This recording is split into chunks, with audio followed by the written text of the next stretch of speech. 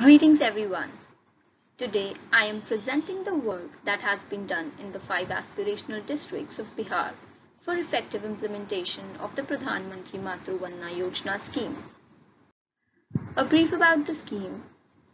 In an attempt to improve the health and nutritional outcomes among pregnant and lactating mothers and children and encourage healthy pregnancy, the Government of India launched the Pradhan Mantri Matru Vandana Yojana in January 2017 to provide a conditional cash transfer of Rs 5000 to first living child. The scheme was implemented from September 2017 onwards. Under the scheme, a cash incentive of Rs 5000 is provided directly to the beneficiary in their bank accounts for their first living child, subject to the fulfill fulfillment of the specific conditions related to mother and child health.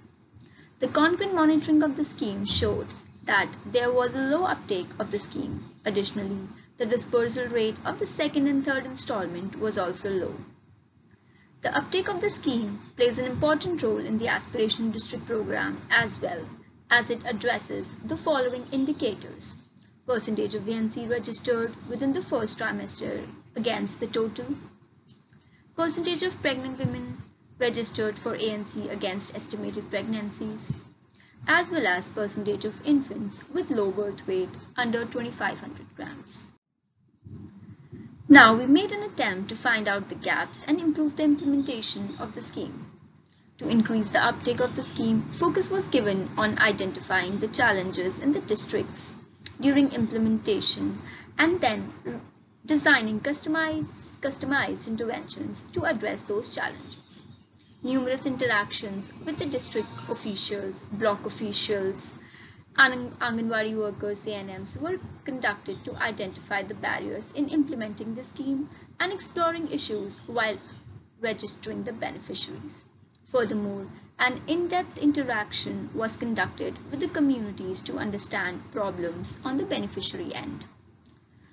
These interactions brought forward several challenges like lack of training, awareness among Anganwadi workers and other field functionaries, lack of regular follow-ups, insufficient record maintenance in the MCP cards, delay in receiving the birth certificates, challenges related to Aadhaar mismatch, data correction, and also lesser knowledge about the scheme in the community.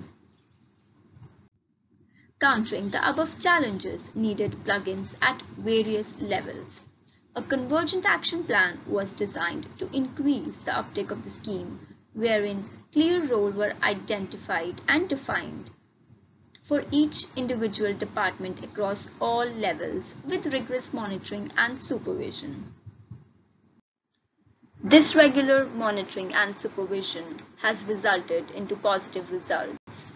From October 2019 to June 2020, the beneficiary registration has gone up also, the installment dispersal rate, especially for the third installment, has, significant, has significantly increased. Also, Bihar government has decided to issue birth certificates for all home delivery cases within 14 days.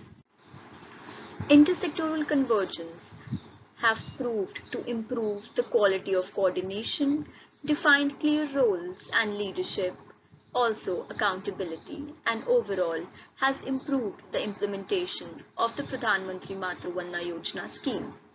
However, there are few policy implications. The cash benefit is limited to the first live child. Nutrition is important for all pregnant women, irrespective of their age or gravida. The scheme therefore should be available for all pregnant women. Thank you.